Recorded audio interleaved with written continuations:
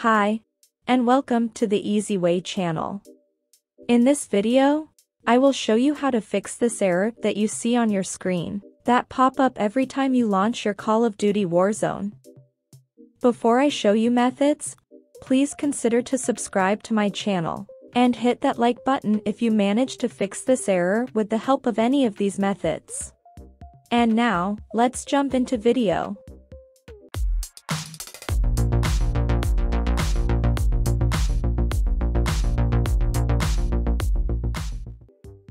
Okay. First thing you will do is open Battle.net Launcher, select Warzone, and click here on Regions. Try to change region from current one, and then launch the game, to see will error message appear. Second method is to rename Call of Duty folder. You will need to close Battle.net Launcher completely. Right-click on your taskbar, and select Task Manager. Under Processes tab, find any Battle.net related processes. Right-click on it, and select End Task. When you are done, close Task Manager, and open your File Explorer, and then open Documents folder. Here, you will see this Call of Duty Modern Warfare folder. Right-click on it, and select Rename. Just type anything at the end, and press Enter. Launch Warzone now, to see did this worked. Just to remind you, this will delete all in-game settings for Warzone.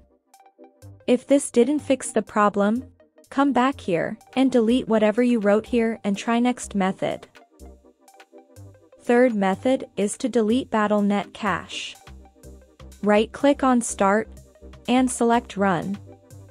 Type percentage, local app data, percentage, and hit enter. This folder will open, and here you need to find Blizzard Entertainment folder. Right-click on it, and select Delete. Try to run the game now. Next method is to run Modern Warfare as administrator. Open Battle.net Launcher, select Warzone, and then click on COG icon. Select Show in Explorer option. This will open Warzone installation folder. Find this Modern Warfare exe file, right-click on it, and select Run as Administrator. Last method is to change installation folder. In Battle.net Launcher, select Warzone, click on this cog icon, and click on Show in Explorer. Inside of this folder is our Warzone installation. Now, I want you to make new folder here. Right-click on empty space, and select new folder. Name it whatever you like, I will just type fix, and hit enter. Now, left-click on this original Warzone folder, drag it on top of this new folder, and then release mouse button.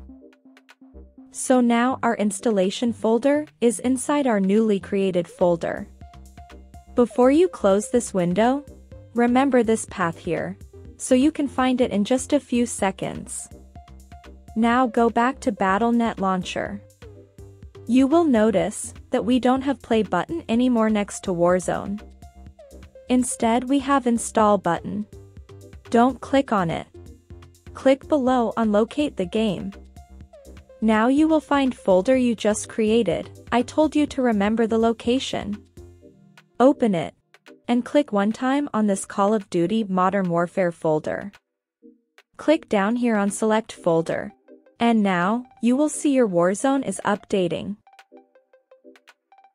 This process should be almost instant. And after that, you will have play button. Run the game and it should be fixed now, without that error you were getting. With this, we came to end of this video. I hope that your Warzone is working now. If it works, please hit that like button, and subscribe to my channel with the bell on, so you can get notification when I upload my next, easy way tutorial. Bye!